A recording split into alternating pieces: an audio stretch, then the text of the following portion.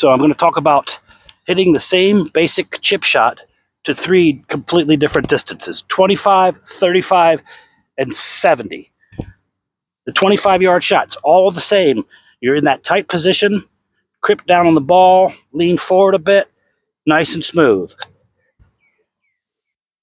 You're going to use the same setup. That one actually hold out, which is beautiful. You're going to use the same setup to the 35 pin. Nice and tight. Keep it in tight. Just a little bit more backswing. Right to the right. Oh, that one almost went in. And then we're going to go same setup, same basic swing. We're going all the way up to the back pin this time. So you want to take a nice long backswing. Make sure you keep your head down on this one because the tendency is always to pick up. That's going to go up higher. It bounces up closer to the pin up there. It snuggles up nice. Do this over and over and over again. Practice. You will get better. You will lower your scores. Thanks for watching and own your swing.